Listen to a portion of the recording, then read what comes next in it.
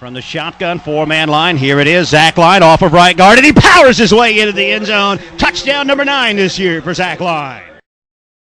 JJ's going to look deep. He's bumped as he throws the ball, and he wobbles it out there, but it's still caught by Cole Beasley at the Memphis 40 to the 35 and down to the 30-yard line.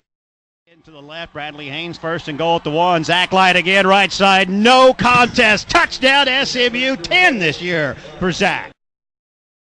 Crawford running back to his 21. Catches it. Heads right 25. Turns the corner to the 30. Lots of open field to the 40. To the 45. He's hit there to the 50. McDermott hands it again. Zach Line. Big hole up the middle. 35 30. Heads right 25 20. To the 10. To the 5. And he's tackled as he dives for the pylon. And touchdown SMU! And the handoff is to Zach. Goes left side. Touchdown. Third today for Zach Line. Third and 15 at the 15. Taylor Reed under pressure. Taylor Reed with the sack. Back at the nine yard line.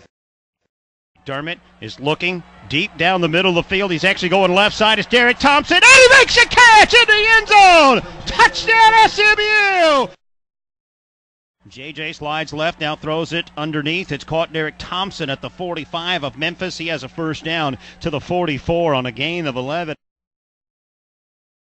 Third down and 14 at the 21 of Memphis. SMU back to pass. McDermott throws into the end zone. Caught Darius Johnson. Touchdown SMU. Gonna hand it off. Gibson just never had that ball, and it's loose on the ground. It's picked up. Randall Joyner to the 20, to the 15, and a fumble return for Randall Joyner to the 14 yard line of Memphis. That's the first takeaway today for SMU.